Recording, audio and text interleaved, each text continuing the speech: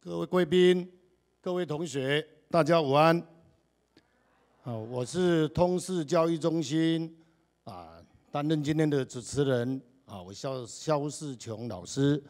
呃，今天呢，我们啊非常的高兴啊。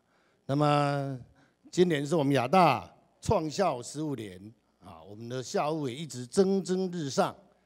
那么我们连续两年呢，都获得英国《泰晤士报》高等教育专刊的啊评比呢，进入全球的四个百大，这个是让我们非常啊感到荣耀的事情啊。但是啊，我们全校的师生呢都不以此为满意啊，都认为这只是起点而已。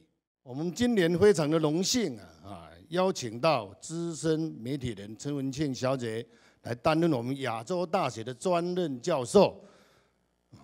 那么这学期呢，我们将举办七场的文献讲堂，一月学校系列讲座。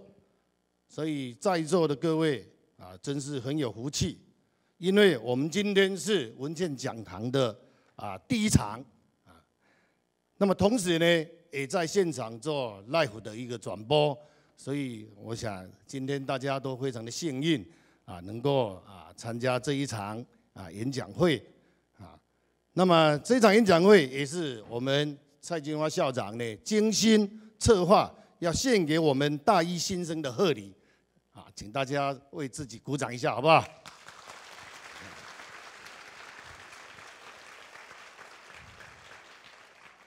那么在演讲正式开始之前呢，我们呢啊这个。特别安排邀请到呢，我们国内的知名小号演奏家何传安先生。那么何传安先生呢，他十二岁就开始学习这个小号啊。那么他啊，这个国内外的名师啊啊的指导，所以他的啊演奏技巧非常的成熟。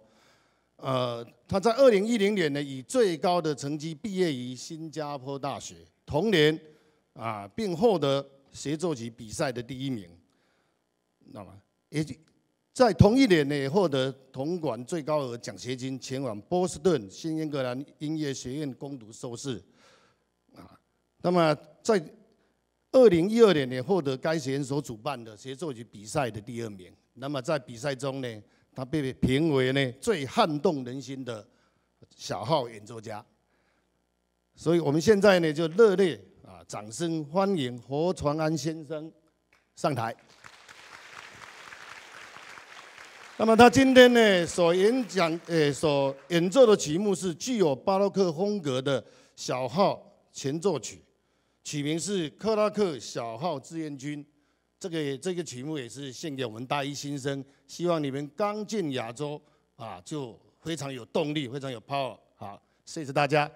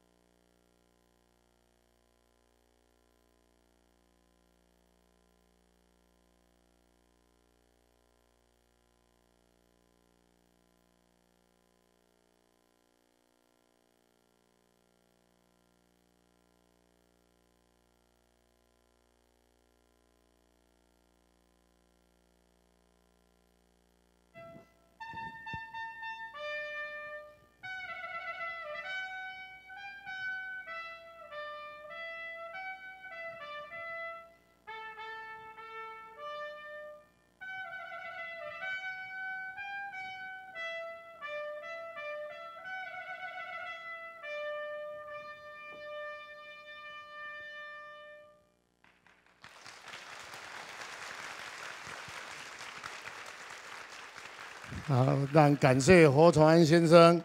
现在呢，啊，我们再以更热烈的掌声欢迎我们今天的啊这个演讲者啊陈文茜教授上台哈，我们校长也一起上台。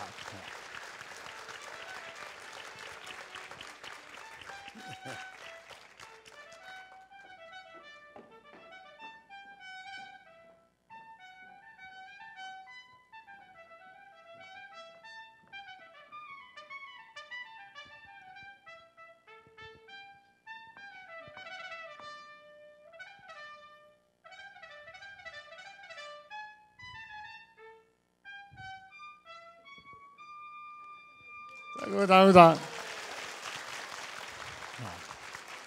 我们每一次陈文健教授来本校演讲，我们都会给他一点惊喜哈。今天就是这样的一个啊安排。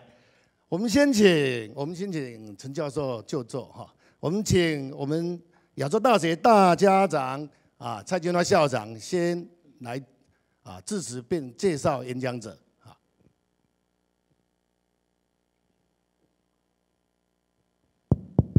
这个是了不起的 opening 哈，谢谢。今天只要欢迎我们这个啊，因为我们常常听到大学需要大事，不止大楼要大事，所以 今年我们是规划好几场那个大事那个啊那个演讲系列。那第一场就是我们的文倩，我们的呃讲座教授哈。那事实上第二场就是那个 Maya Schomburg，那再是 Nobel Prize winner。像那个提罗兰哦，联系嘞，好，那亚洲大学有两个讲堂是世界级的，一个是安藤讲堂，安藤讲堂是硬体的，它本身是一个艺术品。那今天是文茜讲堂，哦，这两个是世界级的，哦，所以但是文茜讲堂这是我们讲软实力，哦，事实上是更重要的哈。那我刚刚跟文茜在啊这个贵宾室谈到，全世界有三门课是最有名的。哦，一门是哈佛大学那个正义 （Justice），啊，Michael Sander；一门是耶鲁大学他们讲的生水学。那第三门是哪一门课呢？就是今天的文倩教授的一夜学校。哦，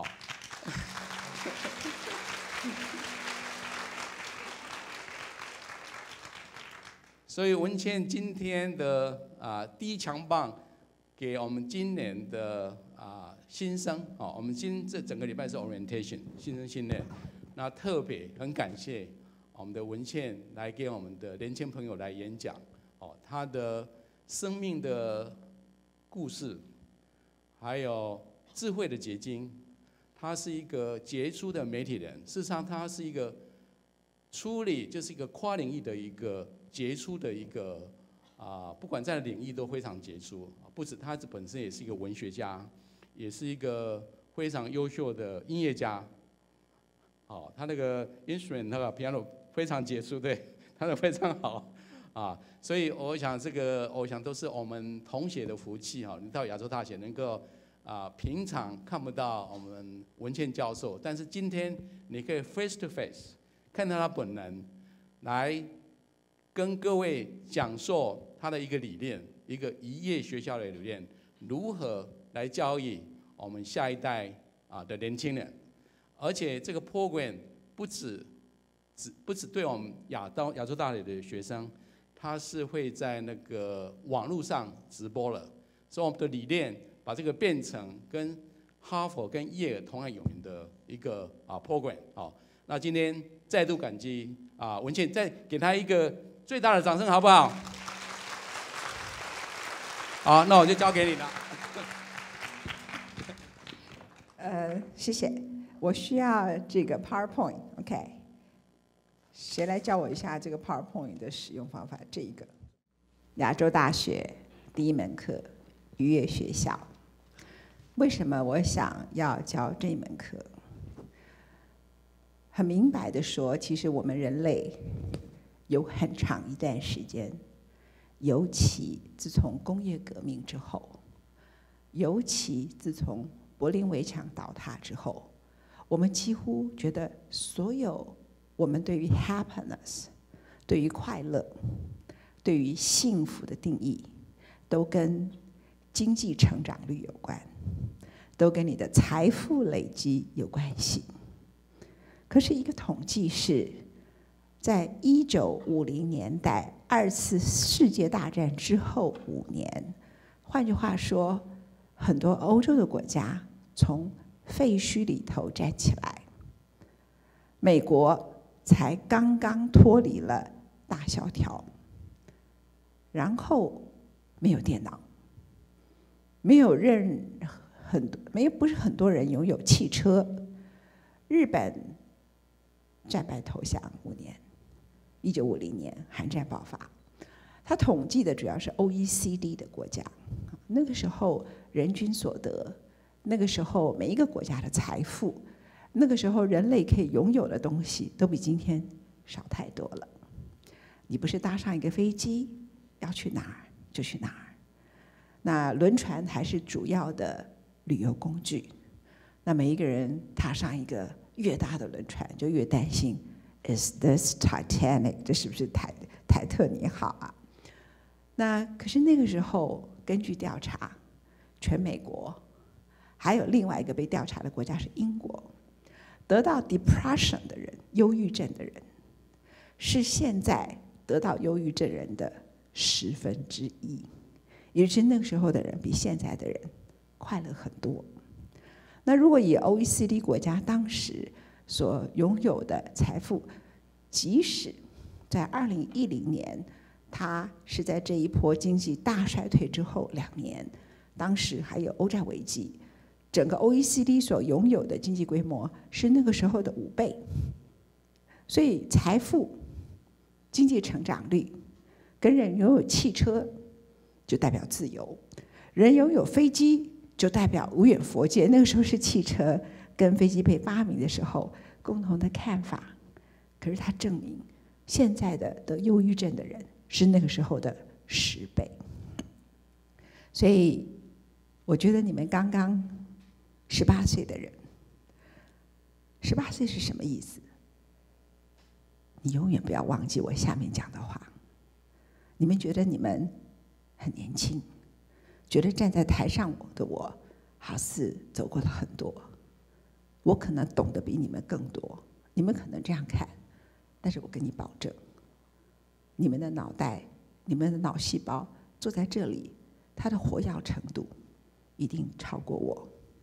你们不止比我聪明，你们也比李敖聪明的，这就是所有的脑部的医学里头证明的，人最聪明的时代岁月是从十八岁到二十二岁，或者到二十五岁，或者到二十七岁。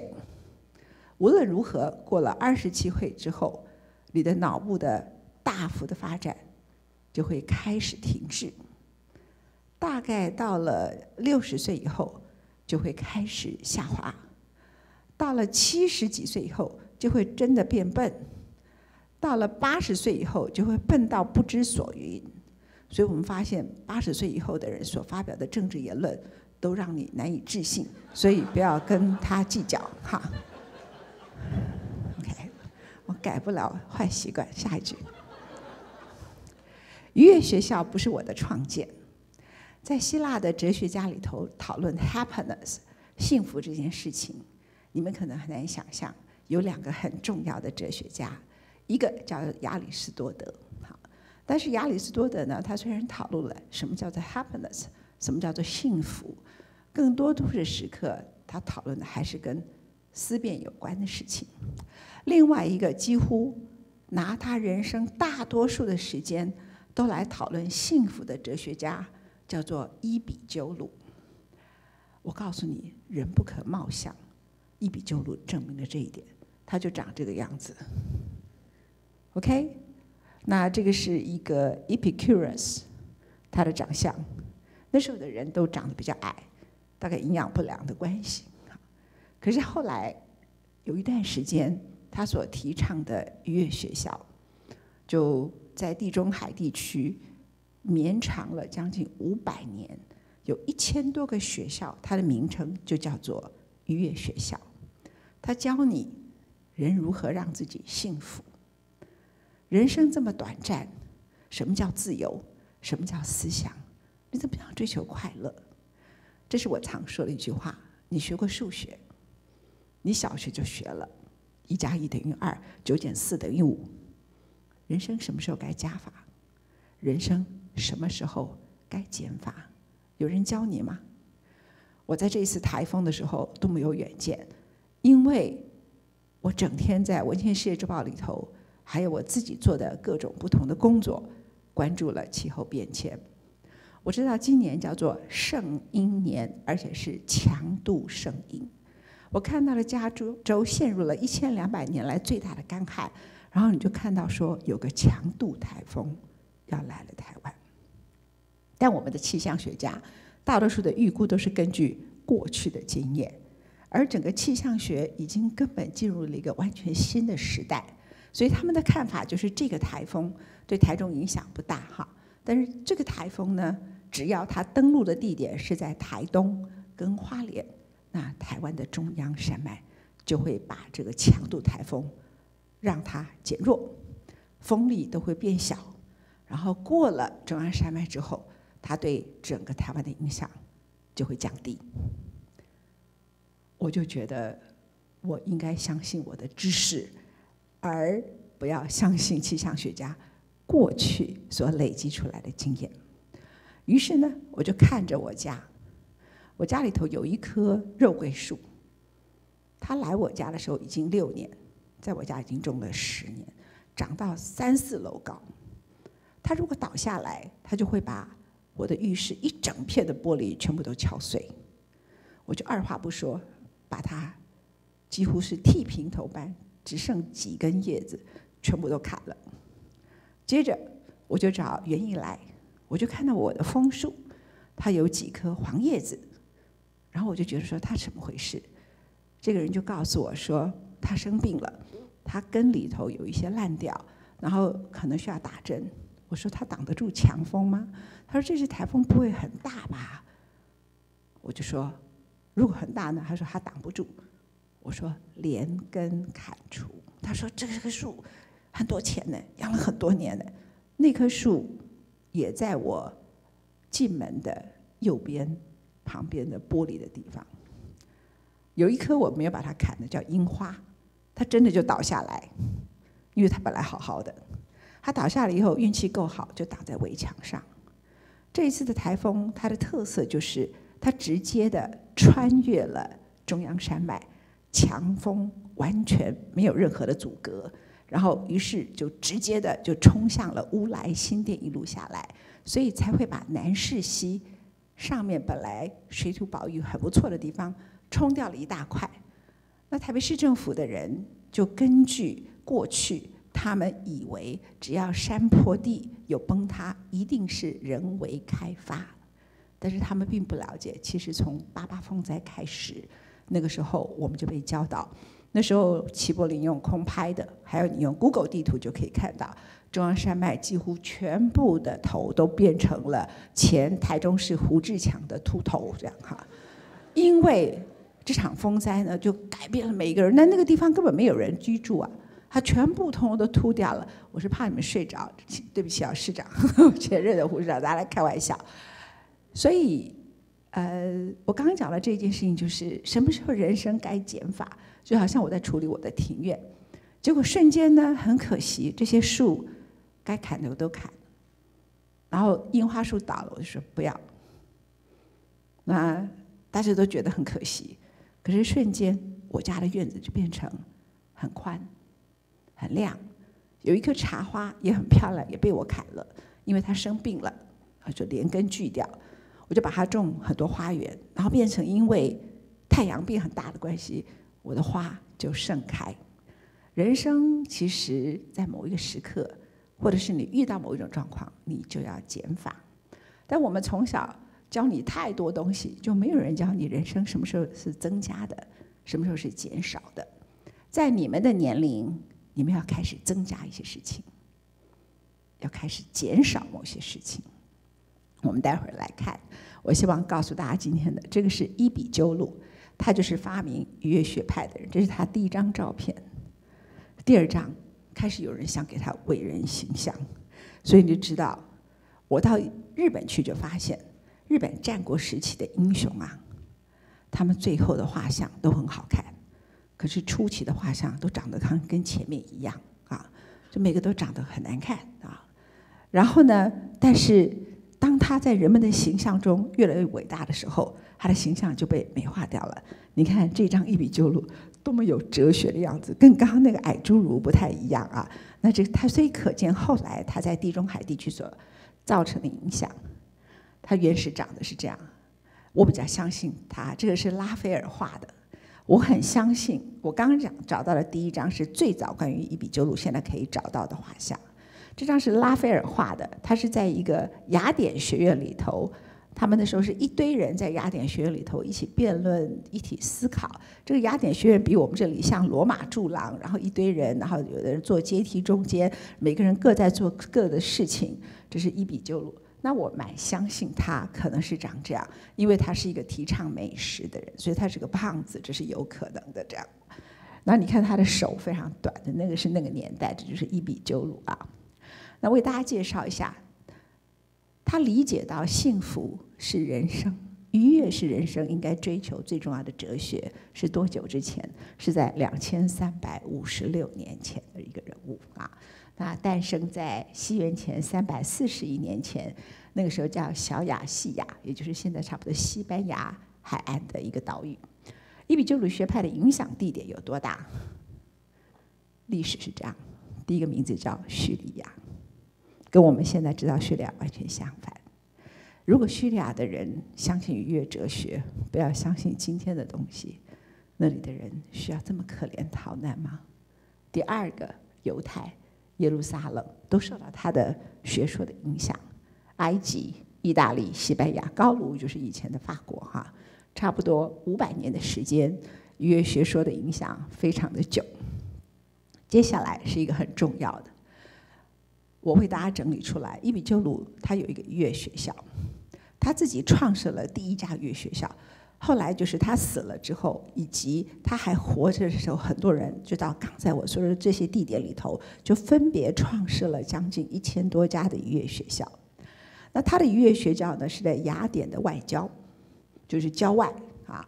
那比如说他在台中市的郊外，南投的埔里，比如说那样的一个地方。那所以，如果从某一个概念来讲，它是第一批的人民公社。那但是他也不是要求你们每个人都共产党财产都要交出来，不是这个模式啊。那他要的就是后面的概念，你们会觉得，哎，这个人好厉害哦。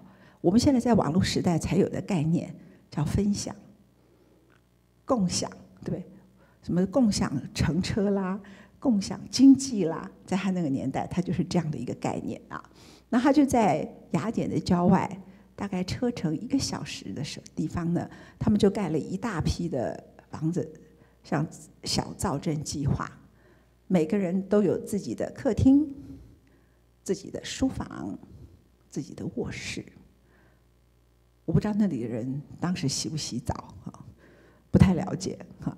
然后呢，可是没有厨房，厨房是共用的。没有餐厅，餐厅是共用的啊。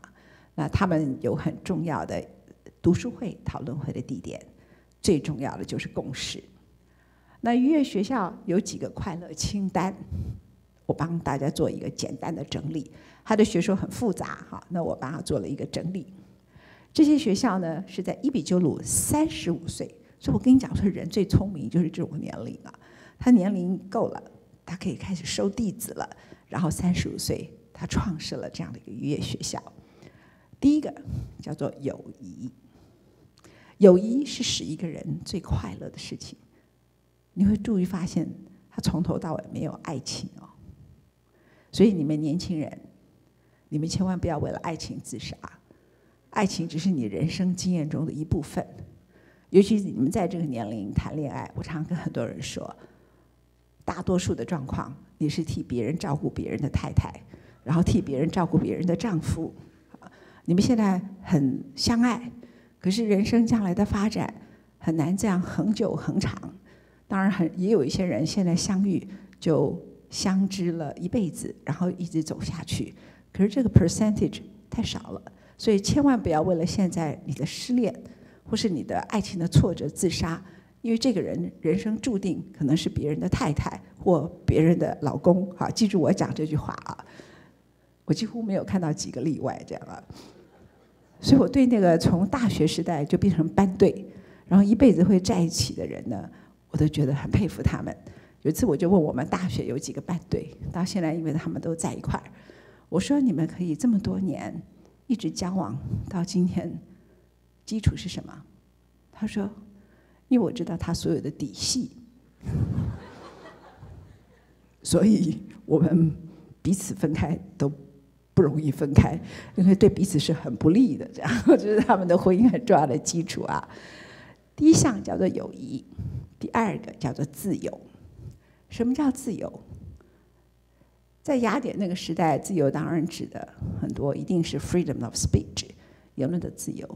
可是有思想的自由吗？很多人都知道，在那个年代，苏格拉底他因为不肯服从。多数人的意见，最后被勒令喝毒酒而死，对不对？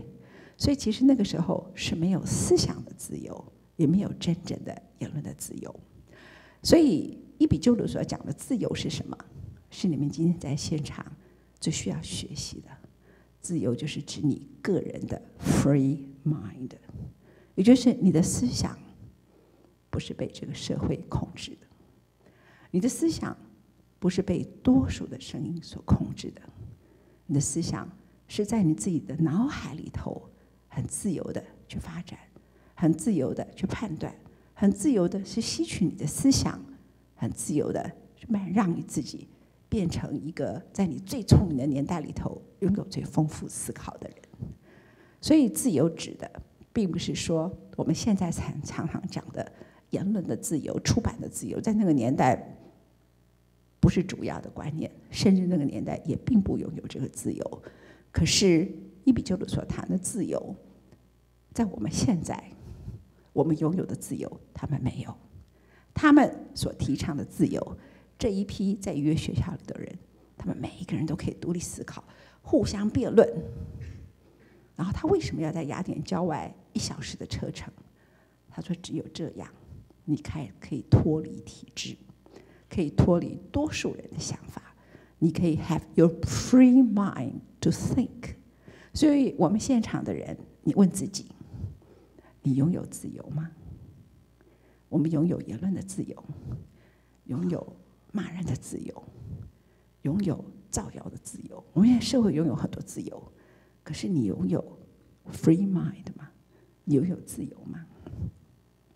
所以在自由下面。你才可能会有第三项，叫做思想。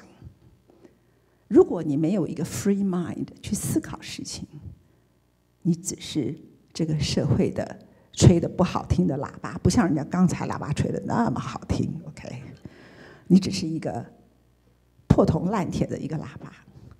You don't have thought，你并没有真正的思想。所以，思想是一个人跟别人。最大区隔的理由，我跟另外一个人的最大的区隔，可能是来自于我脑袋里头我所拥有的这个思想，而不是我今天的外表，或是我某些的职位，或我某些的 title，是思想决定了你这个人在世界人生中很重要的价值。那我们也可以说，现在很多人所谈的价值观，都是在这个思想的概念里。可是思想怎么建立呢？如果你没有 free mind，你的思想不会是 free，一个让你有独立思考的状况底下所建立起来的思想。你的思想叫做人云亦云，在这个社会流行什么，你就是什么思想；这个社会反对什么，你就反对什么思想。你没有属于你个人的思想，因为你根本没有属于你是个人的自由独立思考的能力。所以你看伊比鸠鲁为什么说他三十五岁？为什么说他是两千三百多年前？特别要提醒大家，就是伊文他在那个时候所提倡了很多东西，在胡适时代的时候，他提到独立思考的重要性。在现在，我们都还很难建立这样的一个概念，你就知道说这个为什么我要谈他的一些想法，而且他的前进。好了，第四个，美食。伊比鸠鲁因为他提倡美食，使他后来倒了大霉，而且受尽了攻讦。这个道理很简单，就是随着那个时候呢，罗马帝国是很允许伊比鸠鲁的学说传递的。其实你今天呐，在意大利，在地中海那个地方，看到他们对一些慢活啦、生活叫慢食啦这种思考、慢思考这种概念，其实都是受到伊比鸠鲁的过去所留下来的传统影响。但是当罗马帝国瓦解，有一个新的力量崛起，那个时候的力量，他为了要建立他的领域，他跟今天他所代表的态度不完全一样。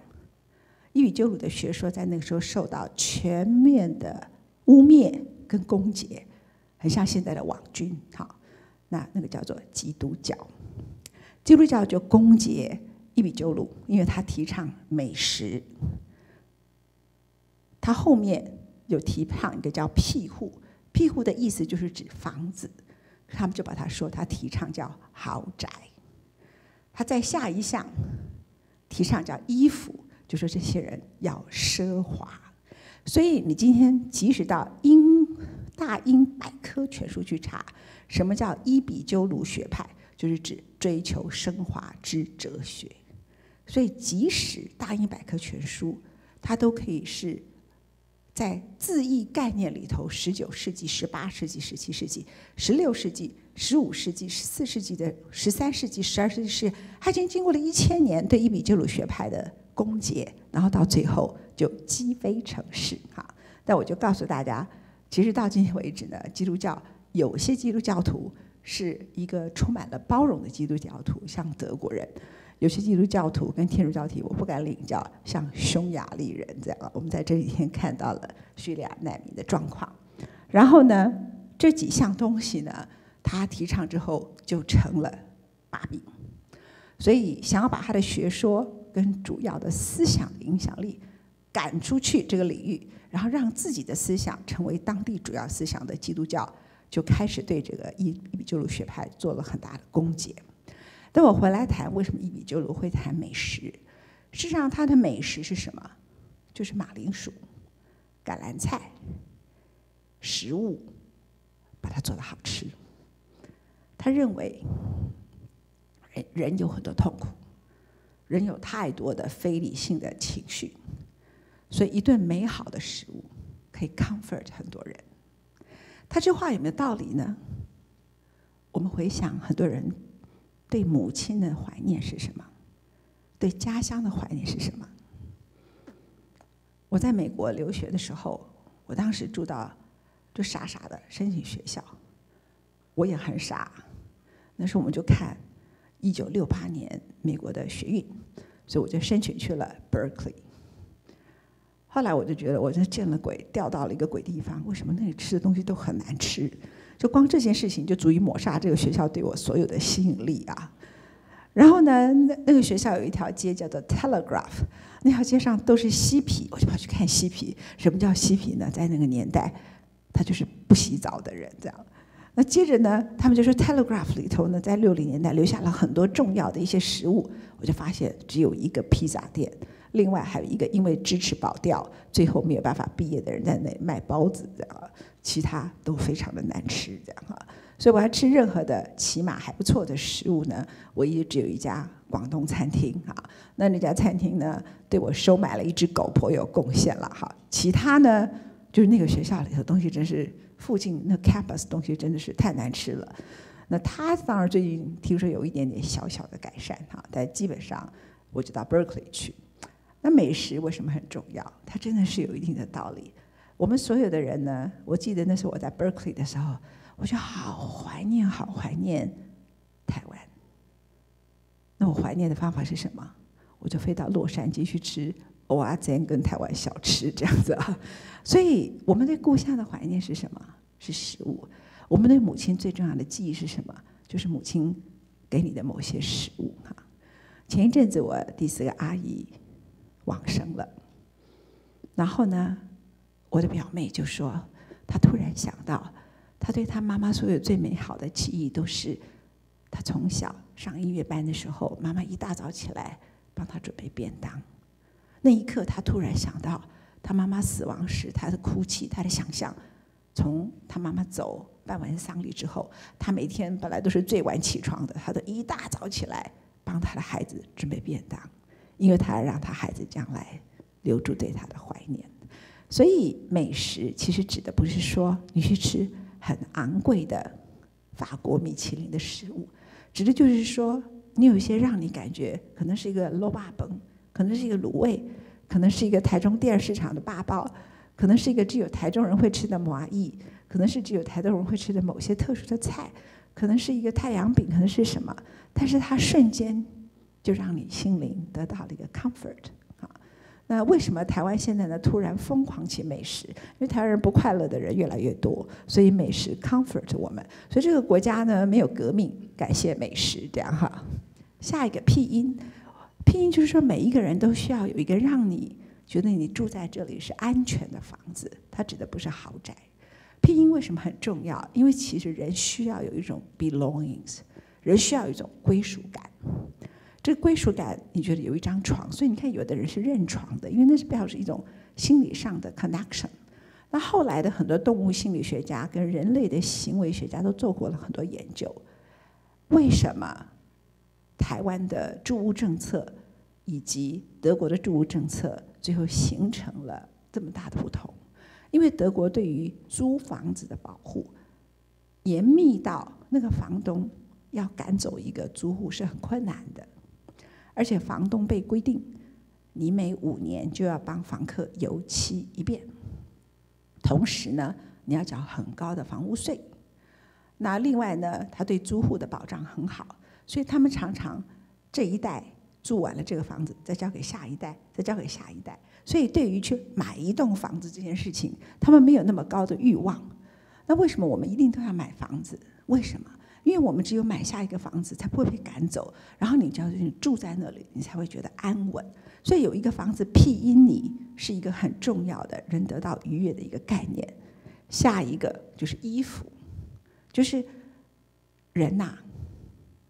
他讲的衣服，就是指说，其实人需要透过穿戴上一件衣服的时候，你会感觉 you are so different。你会感觉到你在穿上这些衣服的时候，不只是说衣服可以保暖。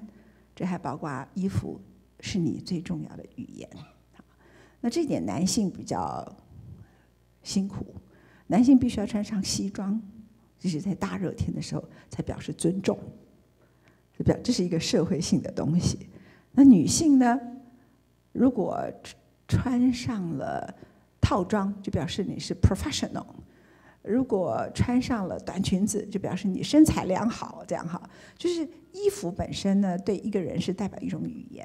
那他很早就注意到这一点，所以他可能是人类最注意到时尚这件事情的一个哲学家。再过来非常重要是理解死亡。他说，当我们每一个人不断的在讨论死亡这件事情的时候，我们就会知道，不断的评论、不断的讨论死亡时候。你就会知道生命的愉悦，你活着是件多么重要的事情。所以理解现在最好的方法是从你死亡那一刻出发。好，再过来就是旅行。旅行呢，可以使你不断的看到世间很多的东西之外，就脱离你原来已经可能在情绪上、在精神状态里头已经陷入的一种洞。其实人性有一种钻到一个洞的一个本能，你必须透过旅行慢慢的离开。再来就是耕种。其实后来我们看到很多精神医学的治疗里头，所以你觉得这个人很先进。在精神医学的治疗里头，就有一种叫做园艺治疗，就大家一起耕种，然后挥汗如土，然后呢在这里头种一些植物，让这个植物慢慢的长起来，然后浇花，看到它每天的改变，你自己会跟着愉悦起来。那这个是他当时就提倡的概念。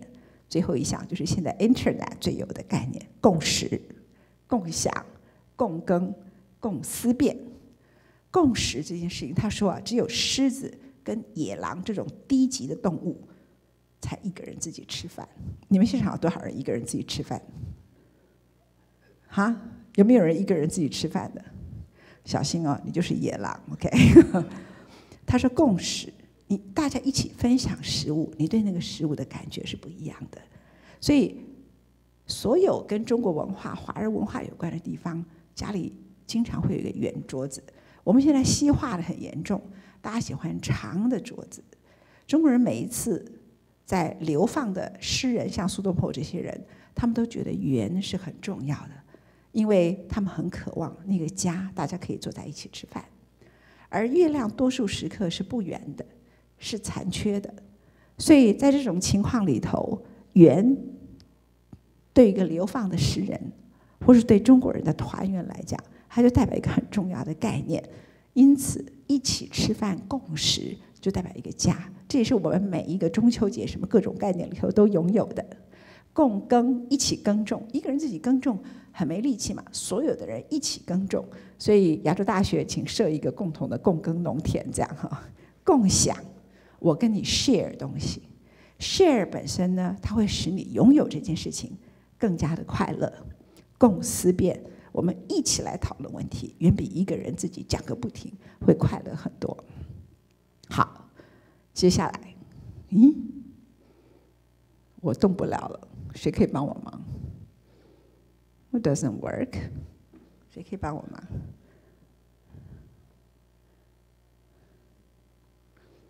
下一页。OK，好了。那我想今天我们是跟新生上课。我刚刚把伊比鸠鲁的快乐清单列一遍。我们有很年轻的人，有一些人到了一个年龄。你们想想看，你们刚才在他的快乐清单里头，哪些是你可以做或还没有做的？那我有一个概念，我觉得我们现在很多人都有手机，到哪里去就发神经的拍照片，再来看美景，对不对？通常都是这样。那因此就常常被嘲笑。可是我觉得它有一个功能，这个功能就是它让我们其实已经遗忘的某些快乐的情绪，它被记录下来。然后我们当时可能觉得很重要的、让我们挫折的事情、不开心的事情，你再回头去看它的时候，it doesn't matter。你会发现时间就把它变得那么不重要了。所以我今天呢，就完全打开我的私人柜子，给你们看我的七月。到我的八月，好，那我们来看我的七月到我的八月。这张照片呢是根据我有一只狗，它是一只比熊。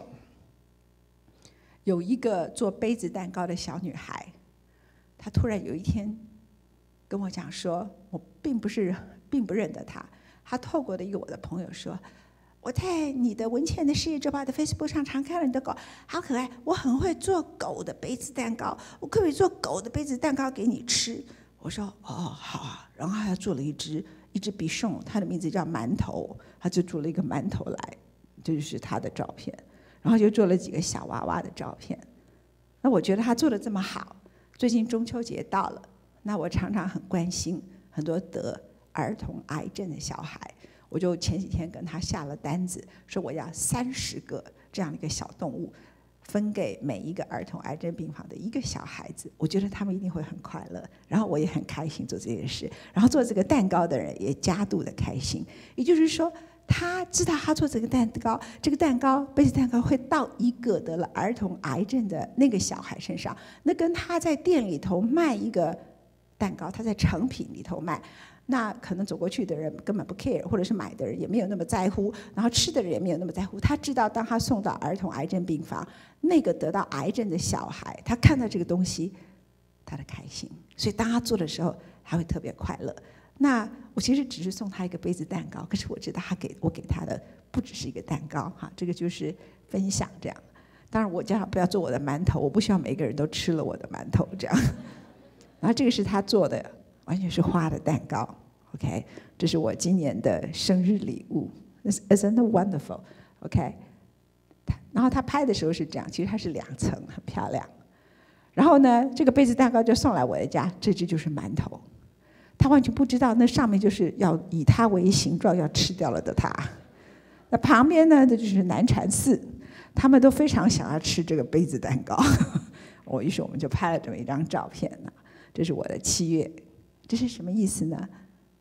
他们就是我的友谊的，就是我的东西跟他们是分享的，所以通常我吃完东西就分给他们两口，所以我家除非到了危急状态，没有一只瘦的狗都跟主人一模一样这样。然后我的七月呢，我就碰到了第一个叫做机器人的东西。每个人都在跟我们说工业四点零已经来了。那什么叫工业四点零呢？它大概书籍上这么告诉你：机器人加云端，然后呢，它一天只要休息两分钟，programmer 重新的设定。但机器人到底长什么样子？我曾经在 Foxconn 二零一零年的时候看过他做 iPhone 的这样的一个机器手背。可是真正最尖端的机器人长什么样子？在今天 Volkswagen。在韩国，在很多美国 MIT 的 C Cell 里头是长什么样子？他们运到台湾来一台，因为我要跟 C Cell 里头最著名的机器人之父叫 Rodney Brooks 两个人对谈。我说我没有办法谈这个问题，我拒绝这个题目，这完全是我是外行的。哈，那我就是我从来没有这么恐慌的。因为我那时候连续两天要主持论坛，一个是谈一千年前的叶隐娘，一个是谈未来的机器人，所以我几乎今天跟明天就几乎陷入一个抓狂的状态这样子啊。那我真正紧张的是 Rodney Brooks 这个，非常紧张。OK，然后我就阅读了很多他在 TED 上面的演讲，然后我说我绝对没有办法，我不能够接受这个主持人，因为我从来没有做过非专业的东西。他说不，我们就是要一个不懂机械的人。来问这个问题，因为这是人类要共同进入的时代。我说，那我总是要玩一下，知道机器人长什么样子。他们就带我去玩了一台秘密基地里头的机器人，它就长这样。这个机器人呢，就是我七月的经验，就我第一次看到它。It will happen in every factory，在未来的工厂里头都会出现。它是一个有眼睛、有表情的。如果你把它的手放到一个它要夹的位置，它就会记住。从此就会不断的重复相同的行为，可是呢，如果你放错了，他就会斜眼这样瞪你，你知道吧？好，他眼睛就会斜眼这样瞪你，然后你大概操作几次以后呢，他就可以不断不断的操作一整天。我那天就是跟他玩了，所以这是我人生的一个 new experience。然后在我七月的时候呢，突然我有一个朋友，他买了一栋房子，他不想租房子了，他去买房子，但是他租的房子很大。他买的房子很小，他拥有一台演奏型的贝森朵夫的钢琴。那我去他家玩的时候，就弹这个贝森朵夫的钢琴，就弹了月光曲，弹那个 debuss 跟弹那个贝多芬的。后来他就突然觉得，他既然要搬家，这个钢琴一个就是放在仓库里会坏掉，一个就是当二手货卖掉。可是他看了二手货卖的价格，跟他买新的价格差别很大。而他买这台钢琴的时候，他说他是为了富阿风雅，因为他自己根本不会弹琴。所以，突然之间，我在那一年、那今年的七月，当我正在焦虑我的机器人跟我的这个念影娘的时候，有一个人告诉我说：“我决定把我的贝森朵夫送给你。”这样的，所以他来到了我家。那天我弹了一首《蓝色多瑙河》，站在我旁边的那一只狗，是我去年七月，我在六月二十八号的时候，我的。原来的流浪狗死了，隔了一个礼拜，在我们的网络跳出一个东西，说有一只狗在基隆收容所要被处死，有没有人要领养它？我们就写 yes，因为我觉得我走了一个流浪狗，我应该再领养一只流浪狗。然后那只流浪狗当时的状况糟糕透顶，还身上都是伤痕。然后我的朋友说，我们家里头有五只小狗，OK，然后只有一只大狗。他说文倩。因为原来他在那个流浪动物之家被取名叫做古鸡，因为他根本没有名字，也没有晶片。那我就想说，好吧，那我就像一般贵妇一样称他叫 Gucci 好了，这样。可是呢，我的朋友就说不行，我们家的大狗，因为上次死掉的狗叫做肖邦，所以因为它就是流浪狗嘛，就是一个看到闪电就很害怕、很忧郁的狗，所以叫肖邦。他说我们家的大狗都要叫音乐家的名字。那他的眼睛是蓝色的，所以我就取名叫做 Johann Strauss 史特劳斯这样子。那我就对着他弹《蓝色多瑙河》，他好认真的听哦。你看到了没有？这是我的七月，台风快来了之前，我不知道台风要来了。人生就是这样，我就觉得七月份了，天使花来了，那我就种了非常多的天使花，然后就很开心的我自己种完花拍了照片，然后呢，我开心的不得了。居然有人从天上跳下来，给了我一张所有的人都抢不到的江蕙的演唱会的第一场演唱会的票，所以我就去听了江蕙的演唱会。你看，全场这么多人，然后我都没有去挤，也没有去排队，也没有 expectation，然后就有一个人打电话说：“我要给你一张票，这样子，OK。”所以我 I'm so lucky，OK。然后我就开始倒霉了。你看，我经历这么多好事情，然后我就跟侯孝贤谈话。那这是一个我最不担心的一个对话，因为我跟侯孝贤侯导是在我二十几岁我就认识他，当时他刚刚三十四岁，拍了商业电影出了名，三十五岁他就拍了儿子的大玩偶，然后我已经在广播中访问他《刺客聂隐娘》，那我因为对他充满了感情跟朋友，我想一切帮他的大忙，于是那是一场我们跟上海电视台合作的节目，我可以告诉你们真话，本来上海电视台指定的是。白先勇，但是我想帮侯导的忙，因为我知道《刺客聂隐娘》很需要大陆的票房，所以我就说我要侯孝贤，那他们当然就尊重我，就找了侯导来。可是呢，因为是跟上海电视台合作，所以就要两个主持人，因为中国大陆的限娱令，我不可以是唯一的主持人，一定要他们。那他们就派了一个他们现在讲的叫小鲜肉，就是一个很年轻的男孩来。那为什么呢？因为他们说，因为要以你为主，可是为了法律原因，所以这个小鲜肉就给你搭配，让你开心用的。可是小鲜肉来了，还是很想表现呐，对不对？他就拼命的要问很多问题，我就听到他要问问题，我就想说，这还得了？这不是把侯导给毁掉了吗？因为侯导是讲话没遮没拦的，他在大陆就骂张艺谋，骂这个人，骂那个人，他偷偷准备这些问题，这样子啊。我想说，我是来帮他卖票的，不要把我害死了这样。所以呢，我为了控制那一场的演讲，我。一方面在机器人隔一天的访谈很焦虑中，一方面又在这个小鲜肉给我的压力当中，我就第一次主持论坛的时候写下 round down，一是我问的问题，二是我问题，第四轮到你问，你只有这个问题你可以问，再下一个问题，然后规定他可以问什么问题，所以我就必须照那个 round down 走。然后我在那个之前已经访问过侯孝贤，大概前一个礼拜广播。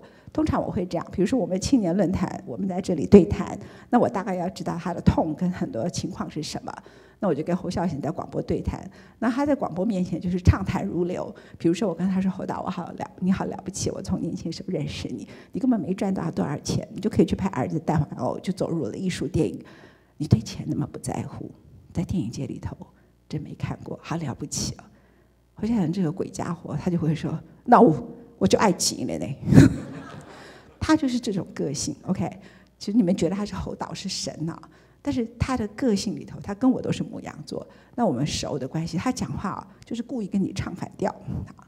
那那一天呢，在广播的时候，我们都非常流畅，他讲话也很好。后来我才听台北市前任的文化局长告诉我说，他只要在全场很多人的场合里头，他讲话就会开始进入那个虚无缥缈的状态里面。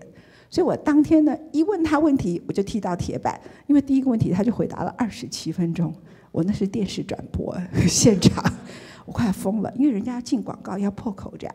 如果他不是，他是一个在棚内的摄影，我就会录三个钟头，再把它剪接成一两个小时，所以我就必须不断的打断他。但是那天就出现了几个情况。呃，前面比较不流畅，后面就流畅。好，那流畅了以后，我们就开始进入大吹够的状况，因为我怕大家睡着了哈。比如说有一段，我就说，我觉得，当然我的目的，我想在现场的人都没有看过《刺客聂隐娘》，因为要一个月后才上映。第二，《刺客聂隐娘》是一个很难懂的电影，你们可能是看过了。第三个，他作为一个唐传奇的小说，不是那么 popular，很多人不知道这个小说。第四个，我看到很多访问他的人都已经大致问了一些相关的，如果没有去看过电影的人会问的问题。第五个，我们下面是一个青年论坛，那我认为我非常喜欢这个片子，他可以拍的那么好，跟这个人他从头到脚，他的人生已经看破非常多的名利，而且有一种。道人出家的出家人的那种感觉，也就是他对很多事情都已经很了了，他不一点不在乎，他纯粹干净到一个程度，他才有办法拍这样的一个如诗如画的影片，而在各种人性的斗争当中，选择了一个最温暖的结论。每个人都有他的朝代要维护，每个人都有他的个人的权利要维护，每个人都需要生存。每个人的尔虞我诈，其实都是因为他背后有他所谓的不得已。那怎么办呢？因为每个不得已合起来，就是我要杀你，你要杀我；我要暗算你，你要暗算我啊！聂姨娘到最后选择了一个结论：这个刺客，因为他在魏博这个地方长大，他对这里的人有感情。他不想让这里的人陷入灾难，他选择违抗他师傅的命令。而他师傅是个坏人吗？师傅不，师傅是唐朝出来的公主，她要维护安史之乱以后不断叛变唐朝唐朝的这些藩渡节度使，所以呢，他就觉得藩镇节度使，所以呢，他是为了保卫他的国家，他叫他的刺客徒弟去杀人。可是另外一个公主呢？是为了要保护她的朝代，她就去嫁给那些藩镇节度使啊。所以每个人都有他的生存，每个人在那个乱世时代里头，但是合起来就是我杀你，你杀我，对不对？我暗算你，你暗算我。但是最终他抓出这个结论，那我觉得他可以把这个片子拍得这么好，跟他这个人是有关系的，因为那个解释是原来唐传奇里头没有的解释，甚至故事情节的更改。都跟他自己有关系，所以我就决定以呈现胡小贤这个人为主。但他是一个捣蛋鬼啊！我现在不是在骂他哈，我学给你们听。我就问他说：“好大啊，你那我所以我就要呈现出来他那种不在乎名利。他不像我今天穿这样，他穿了一个很烂的布鞋，乱七八糟的，背一个包包，戴一个帽子就来了。我说：哎，大导演呐，我们这也是电视转播啊，你也不要这样子，你就这样来了。”啊，过都是安那样，不没有弄。我说，阿里熊就买个帽子贴了，你对什么？帽子拿下来，不然会压到你黑脸。他说好了，这个可以妥协，就拿下来就坐下来。那中间呢？比如说，我想呈现出来，他对于名利根本就毫不在乎，因为我知道他是不看影评的，所以我们就做球给他。我就问他说：“你在看成影展那一天，闭幕那个第一次放映的时候，全场都起立鼓掌。”你的感觉是什么？我很了解他，我当然知道他会给大家一些启发，他不会迷失在掌声中的。他就说：“我许公尽量给了文戏，我是有把握；武戏，我虽然很会打架，可是我大概没什么把握。这样哈，啊，尽量给了他就是这种态度，这样哈。他就讲台语，然后接着呢，我就说。”那第二天你们赶快翻影评啊，因为他早就说过他是不看影评的人，所以我问这个问题的时候是知道他的答案会是什么，会给下面那些可能把名利看得很重的人得到一些启发，是我问题理由。他就给我说，我跨画本的跨博跨啥？事实上，影评英文、法文、中文什么都有，但是他就说我跨画本的跨博啊，我太在我的跨啥？我就立刻接话说，你不会得人家现场 announce 你得奖，你都听不懂吧？我英文也没有那么差啊。然后接着我就说，得到坎城影奖大导演奖，对你来讲是不是一个很重要的鼓励？嘿，不啥啦，我跟你讲，我得救救哈，古为去救来这样。侯孝贤就这样讲。然后接着我就说，救来，你不会是跟趴车小弟借的吧？我连车都没有，我哪来的趴车小弟啊？这样啊，这就是我跟他的对话，大致这样。然后这一段话就在网络上被有一个叫无影无踪的神经病。贴成说我讥笑侯孝贤英文不好，然后接着就会被苹果即时新闻立刻的发出去，而且苹果即时新闻的记者是在现场的，然后他还自己加了一段话，说我嘲笑侯孝贤英文不好，全场都傻眼，然后。后来我跟侯导两个去吃宵夜，还在街上讲话。我们还不知道为什么《苹果日报》有记者来拍我们俩。本来可能想拍我们俩在街上拿刀子互相杀来杀去这样的。我不知道他们在做文章。后来我们查出来，那个布罗格其实他点阅的人也很少，他也不是真的什么影评人。那苹果即时新闻就是抓了这则新闻，然后后来呢，就他一抓就非常多人点阅，不知道是侯孝贤太讨人喜欢。还是我太讨人厌，反正也分不清了哈。那第二天呢，就是所有的媒体都跟进，我就变成一个对他很没有礼貌的人。那侯孝贤就中午起床，用这写的必杀棒，就打电话给我，我说太宰，你昨天一直讲城隍庙，讲多了，鬼跑出来了，这样子。他就一直坚持他要讲他的城隍庙，因为他家里是在城隍庙旁边，旁边有好几个不同的帮派，他是其中的一支。我就说你可不可以讲短一点？他说不行，我一定要把城隍庙旁边的讲清楚。我说你城隍庙讲太多了，才会跑出鬼出来，活见鬼这样子啊。那他就怕我伤心，他就打电话，后来就打了几次，打几次给我，其实我是在录影，然后他在广播间，他以为我很伤心哈，然后呢，他就发了一个声明，就是他对网友的反应很吃惊。他觉得根本就没有这回事，他也不觉得他很被里面，我跟他根本就是老朋友，双方谈话很愉快，大概诸如此类。结果他讲完话以后，是中午的时候发了传真。正常你会不会觉得没有新闻了嘛？对不对？而且我们中天的人当天晚上电视播出那么难剪的东西，硬剪出两个钟头，马上晚上十二点到两点现场播出之后。就接到记者的电话，说听说网络怎么样？是有时间回答他？第二天早上，大家就蒙着眼睛，只睡五六个小时，就到电视台里头去想办法把它弄成一个网络，播上 YouTube，再变成连接，播上《世界周报》的 Facebook，说请大家去看原来的东西。可是网友根本不愿意去看原来的东西，记者也懒得看原来的东西，各电视媒体也懒得看这个东西。那后来侯孝贤发了声明，这事情应该 over 了，对不对？可是 TVBS 照播。不打紧，《苹果日报》还派了三个记者到中广，我要去做现场，他们就拿三台 Mac 那个那个摄影机吧，都比那个摄影机小，就是那种很小的摄影机，所以是很 cheap 的那个摄影机。这边一个，那边一个，那感觉像手枪哈，就对着你。第一个就很温柔的说：“文倩姐，你会觉得你很委屈？”我心想，这个人是不是 gay 这样子啊？心里在没有讲话，我就继续往上看。然后后面那个人就说：“张大春跟什什什人都说你非常没有礼貌，你的看法是怎么样？”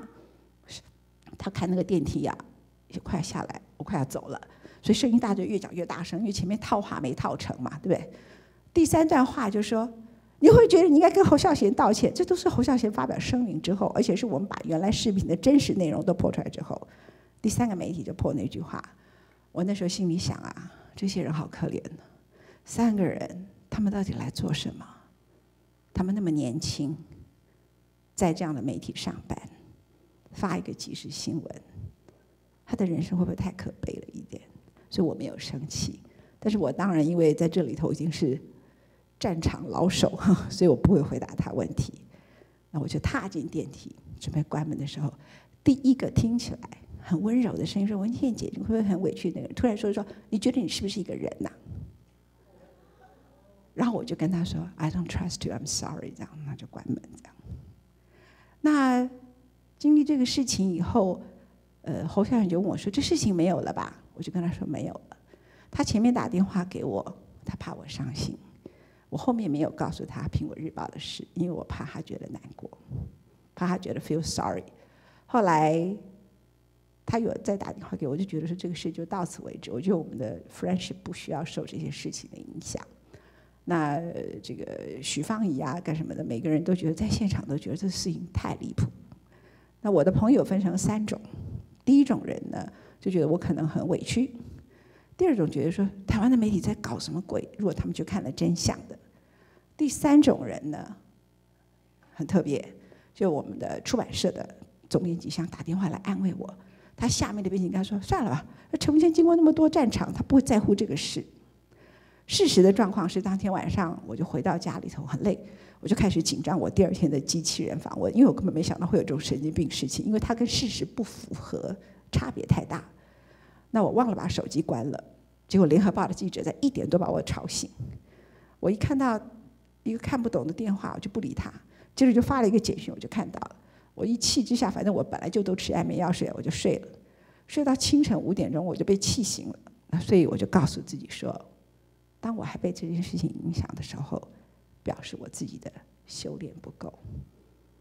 You you know what have happened？当然了，我觉得也是好事。就是我没有经历过这个过程，我不知道台湾的即时新闻是可以造谣到这个程度。请大家不要再看网络里头的即时新闻，好吗？然后呢，那天侯孝贤很奇怪，你知道我们有多老实吗？我们这些人看起来像老头子，全部都被骗。通常我们演讲完就结束就走了。这张照片是什么时候拍的？不是刚上台，是演讲结束后。然后侯孝贤原来他就知道台湾的状况，所以他不轻易接受采访，他只接受我的电视采访，还有另外一家广播。就是他大概都上我的节目，简单说就是如此。所以各家媒体都要求开放，说他们可不可以进场。我们傻到就让这些媒体进场，然后进场之后还让他来对我们造谣，这样。然后结果我们都要走的时候，那媒体说：“我们可不可以拍一张合照啊？可不可以拍一张合照？”我说：“你们自己拍就好了，我要走了。”后来说：“你买呀你啦，你做几行啊？你搁那偷呀人翕相。”他还他就跟许芳宇，我本来叫他跟许芳宇自己拍就好，就我们就四个人合拍一张照片。所以为什么他拉着我的手？是因为我本来要走掉，后来他就把我拉回来，就拍了这么一张照片，这样。然后呢，就我就一脸不情愿的，因为我非常讨厌被拍照，这样，嗯，好吧，就拍完了，然后就走了，就这样下下台。那这张照片就变成，哎，我们关系很不好的一张照片，好吧？这样看起来关系很不好吗？他们觉得胡小贤很不开心的，OK。好了，隔一天，我的朋友他的女儿在 Big Sur 结婚，他本来邀请我去参加，但是因为我要访问侯小贤，说我不能够去。那他在 Big Sur 就告诉我：“你要开心，你要开心，你跟着 share our glory，don't care about them。”是很漂亮的婚礼，好漂亮，对不对？OK，友谊有多重要？你看到没有？August 进入八月了，OK。然后呢，我的朋友，我们的记者就到。东京的鸟屋书店去，这已经被列为全世界做的最好的书店之一。然后就不断的传照片给我，他希望我开心起来。然后哎，就帮我订了这个面包机，可是到现在还没到，我要跟他算账。昨天整理时候才发现，鸟屋书店真的很漂亮，在东京啊里头好美，他把生活跟各种结合在一起，还有家庭用具。好了，然后我就去访问这个机器人之父，结果我最紧张的对谈，当天。他高兴的不得了，因为他从来没有碰过一个跟他对谈的人，做了那么多准备，他很高兴。OK，他然后他觉得，哎呀，他很很被 inspiring 这样。比如说，他跟他说人人都是机器人，那我就问他说，那你认 Hawkins 是人还是机器？还有那天没有苹果即时新闻来这样，否则他就会访问，他就说我对 Hawkins 很无理。但诶，我跟他谈话的时候，他就觉得说，某个程度他就是他讲的，他既是人也是机器。那我问他说，他认为 companion 陪伴型的机器，就是日本现在发展的 Pepper 这种机器人是最不容易成功的。我说好，那我问你，一个机器的狗，它不会大便，不会小便，它不会吵你，可是它会跟你讲话，会跟你撒娇，它也不需要你喂它吃饭。跟一只真正的狗，它会死掉，比你早死。你要哪一个？他说我当然要狗。OK，我问了他一些问题啊，那他也很仔细。那我也开放在场很多学生，因为下面都非常多的科技大学跟台大电机系、材料工程系的很多学生，他们现在的学校的科系不是用云端跟机器人的工业四点零来分科的，所以学材料工程人都想要知道说，那我在工业四点零里头我该怎么办？所以就问了他很多问题。那这个是我跟他的对谈，就那天对谈愉快结束。所以你以为你最有把握的事情？你就在莫名其妙里头就碰到了火箭鬼，你以为你最紧张的事情，它就顺畅的过去了。That's life，OK？然后隔一那个礼拜呢，就有人说文倩，你不要伤心，我帮你办一个 party，所以人呢一定会因祸得福这样。那我的朋友多多阿吉楚，他其实他一切都还来不及，只为了这件事情呢，他觉得要办一个 big party 来让我开心，我就走到他家，然后那是一个看淡水的夜景，你看这么漂亮，See？How beautiful！然后还弄了一个好漂亮的蛋糕干什么的？就我，我希望以后大家多来恭喜我一点，可以多得到一点同情。然后真正重要的事来了，有一天我最爱的狗之一叫成吉思汗，他吃完饭以后突然呃硌到了，我们以为他快死了。我这位美女的助理呢，最最爱他，就一路一直给他喷氧气，喷氧气，喷到都一开始哭出来了。然后后来他到了山下，快要到山下之前，突然喘一口气。他的舌头才从紧闭的黑色的，就是几乎窒息的状况，舌头吐出来是红的，就活了。什么事是重要？爱你的人才是重要。这社会上所有其他那些事情真的重要吗？It doesn't matter。他活过来，然后我的荷花也开了，我赶快拍下了荷花的照片。平常开荷花我可能没有那么珍惜，那个时候很珍惜，好漂亮，因为我知道台风快来了。你看，把所有台风前记录灾难前所有的花，because it would disappear，它会消失。然后馒头，他今天做了一件事，他把人家给我吃的水煮蛋放在桌上，他把它一口气吃光了，活逮。接着，青年论坛下一场，台湾好，看见台湾好。林怀民唱一课文唱，每个人说台湾那么可怕，对你那么坏，你为什么觉得台湾还好？我说对不起，他们只是台湾的半夜的活见鬼，台湾还是有很多好人。Trust，OK，信赖。不要因为你受伤了，不信赖这个世界。然后我就来了台中，就碰到了一个可爱的朋友，叫林佳琪。他就带我去一条巷子，叫绿光计划。然后这里有一个可爱的爸爸跟妈妈，他们在那里开一个小店。然后因为我常常去法国，我喜欢巴黎，去逛他们的跳蚤市场。你知道法国人，他只要看到黄皮肤的人，他把我当成中国的土豪在骗。那我就把它再骂回去，然后就一直要杀价搞过来搞过去。其实东西没有那么好买，但是他们把东西都买回来。他们显然是很多人是在巴黎当地的行家，然后把他们带回来，然后给女儿的一百件古董首饰，你不觉得很温暖吗？他的女儿其实是一个很小的女孩，弹一个很老的钢琴。然后呢，我可能受到了刺激，一口气买下了你现在看到的所有的帽子。这样，I need a beautiful hat，我不需要那种假的帽子啊。那 OK，就是这个帽子，我这四个我全部都买了。我看到一个很漂亮的设计灯，如果不是带回台北不方便，我当年会买它买下来，希望下次有机会去买。然后他放了很多首饰，都 decorate 的很漂亮。然后我就觉得说，嗯，我拍下他的照片，把它放在《文茜世界周报》的 Facebook 上。这几年从金融海啸之后，我们就经常碰到这种台湾的文创青年，我们就《世界周报》给他报道，《梦想驿站》给他报道，或是我们的 Facebook 给他报道。然后呢，有些人我们报道完以后，广播再报道，像台中的那个不竹山那里的何培军，现在已经听说你们台中有个建案叫天空的院子。然后，可是我们《世界周报》是第一个报道他的人，他现在人山人海哦，常常变成年轻人创业的楷模。然后我把我家所有不要的书都扔到他的民宿里头去，不要的 CD 也是如此。你就很开心看到，你根本不经意做的某些事情，你可以帮助到别人。所以人年轻的好处就是可以冒险，可以创业，可以做最好的事；人老的好处就是可以帮助别人，因为我们不再有创意，不再有你们的本事，好吗？但我有本事买这么多帽子，你们还没有？OK？好了，我去了一个最可爱的女人的家，她给我吃到了我外婆走了以后我们有吃过的食物，叫做麻蚁。这是我们台中人，我外婆每一年夏天会做给我吃的。那我妈妈不是一个很喜欢做菜，也不会做这个菜。那我外婆对我来说是我真正的妈妈。我从七个月跟她长到十七十七岁，然后她几乎她人生的所有的事情只有一件事，就是照顾你。当有一个人拿那么多爱给你的时候，你突然失去了，你的人生终于明了了某些事。可是那个长大的代价。跟过程非常的痛苦，那我对外婆最重要的怀念之一就是蚂蚁。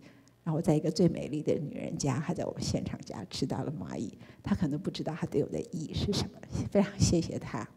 然后他们又带我来看亚洲大学的美术馆，这是一个愤青、愤怒的奈良美智。OK，因为日本人经济停滞已经二十年。所以日本这一代的年轻人，他们后来的所有世代的愤怒，其实早于全世界将近二十年左右。现在有很多人说，中国现在的经济状况跟那个年代八零九零年的日本几乎一模一样。所以你会看到世界开始转变。另外，你看到了在亚洲美大学美术馆非常棒的创作。那这个人，我认为他将来，你们去美安藤美术安藤的美术美术馆看。一个好的创作者，往往不是你画最好的油画，就是你的创作的美彩是跟别人不一样。所以，像蔡国强为什么那么红？因为在他之前，没有人想过什么用爆破还可以画画的，结果他用爆破，所以一下子就红了。那他那时候其实我第一次注意到他的时候是一九九二年的时候，在威尼斯双年展，那是我第一次碰到泰国强，台湾没有什么人知道他。那他就把马可波罗当时到中国的船一比一的比例做成，然后就是在那边放烟火这样，所以所有的人觉得简直是 amazing，所有全场威尼斯的艺术家全部都被他打败。蔡国强其实当时就注定，现在就是这一位。你刚开始看他是一个雕像，事实上他是一个纸雕，就在你们旁边。然后有一天。从这里我就去日月潭度假，这里比西湖还美。哇！然后我发现那天叫做情人节，然后拍了一张这个照片，OK？你不觉得一个人快要六十岁长这样还不错吗？请给一点掌声。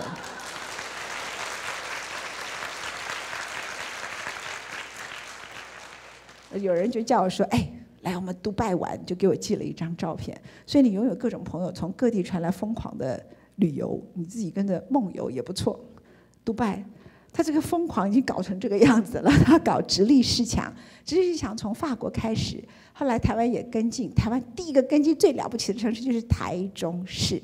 那时候台中市市政府为了要所有的建设，你都不要变成对邻居的干扰，你的绿色为篱。”结果变成有工地的地方，鸟语花香；没有工地的地方，还没有鸟这样子。后来呢，大家发现台中市怎么做这么好？高雄市想要跟进，陈局来偷偷问我说：“文倩，你跟胡志强很熟，他到底做了什么？为什么会改变那么多？”我说：“他通过了一个市。议会的自治条例，然后规定所有的工地必须提提拨多少的比例出来做绿色为例，他们就立刻通过，台北也立刻工作，所以台中是台湾第一啊。”然后，可是现在杜拜已经变成这样了。台中加油，这样。接着就是我下一场的青年论坛。上一场是侯孝贤，很多人说你这样子被打击，你会不会声望受挫？我说我希望我体重下降，OK。结果两者目的都没有达到，这样。来宾柯文昌跟林怀民来谈为什么故乡是我们永远不会遗忘的地方。那。我会回来亚洲大学，因为我是一个台中长大的小孩，这里是我永远怀念的故乡。OK，people are talking，就是说，哦，到底这些事情对你的伤害是什么？当然，我是他们讲的没错啦，我身经百战。然后呢，在那个时刻，我知道这种事情，因为从头到尾就是一个鬼扯淡。反正他们网军天天都要攻击各种不同的人。那即时新闻为什么需要去抓一个其实在网络没有什么人注意的布洛格？然后他在现场，他故意要制造这个负面新闻。我不是精神科医生，我没有兴趣去讨论啊。但是他给了我一个帮助，因为我在《苹果日报》写了专栏，《自由时报》写说我停止了五年的专栏，我写了十五年，从苹果创刊的第一天写到现在。那写的很大的原因是我对他们的创办人李志英。他对言论自由的某些坚持的故事有关系。他在当时找了我跟赵少康写专栏，因为他觉得他们的专栏里头某些人的政治立场很偏颇，他也没办法。还有他们的编辑部都是太属于某一个政党。后来我答应了以后，他告诉我一件事，他跟我说有一个中国民运出身的人跟当时国安会的副秘书长去他家，然后那个时候的总统就派了他们两个做 envoy，就使者。跟他说：“你如果把这两个人的专栏停了，我可以把台视考虑卖给你。”他把这两个人就轰到大街上，尤其是那位民运出身的人。他说：“我当时资助你，给你钱，帮助你，是因为你反中国共产党。你怎么来这里变成了某某人的走狗？”那他不精心告诉我这件事情，是我无论大家对《苹果日报》的评价是什么，我写了整整十五年，因为我知道这个在一个报人也是商人的立场里头是很不容易的。可是这次的事情呢，我就会觉得，说不定就是缘分到了，那我就停了，停了，从此我就有更多的礼拜五的时间，不要老是写稿，然后可以好好的陪我的小孩。然后大家就讨论说，这个事情对你影响是什么呢？这一次刚好我们谈南北韩，但是更重要的是我们讨论中国的经济危机跟日本相关的新安保法的修正，结果我们的收视率。在那个礼拜，几乎都排在前十名，又创下了这一年来《文茜世界日报》收视率的新高。所以不要觉得你受到什么伤害，It's just something 见了鬼，OK。然后我在这个是我的书房，我在我的书房写作。有一天我看到烟雨蒙蒙，很漂亮，拍下来。然后结果一高兴没多久，他们就告诉我说我的狗吐了。我们就想不得了，因为它是一只已经十五岁的狗，去年差点死掉。后来我才知道，是因为有一个人急着出去开车，他怕没坐到车吐，但是没告诉我们事情，我们就把他送到医院去，就去量血压。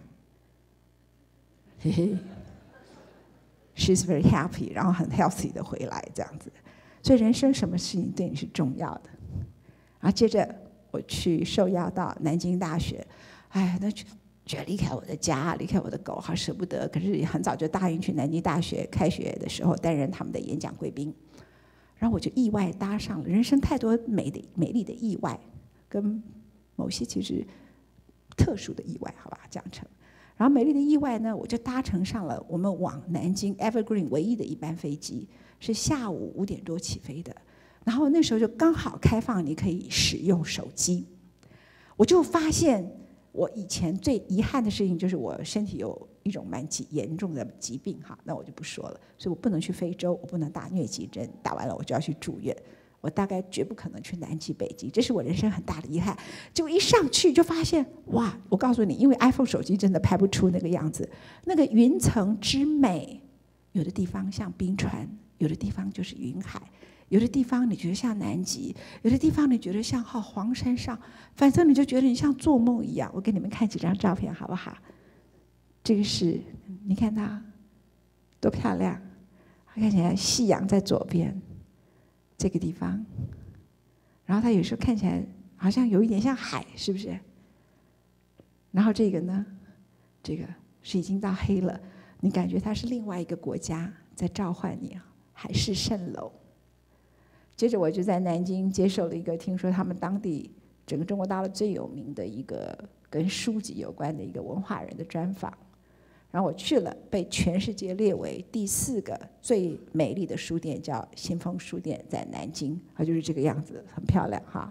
我在里头演讲，然后这是我在南京大学的演讲，用了一句话：目光放远一点，你就不伤心。